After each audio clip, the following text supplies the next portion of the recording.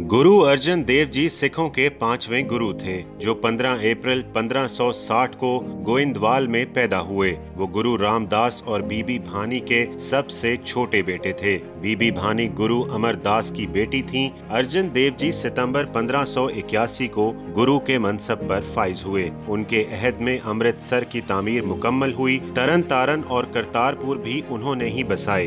ग्रंथ को इकट्ठा करना उनका अजीम कारनामा था। लाहौर के शाही किला के पास उनकी याद में गुरुद्वारा डेरा साहब तामीर किया गया।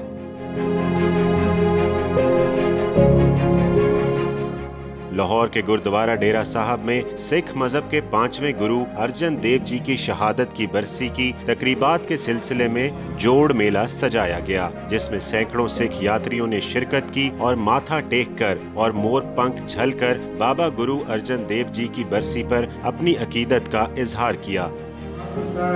जो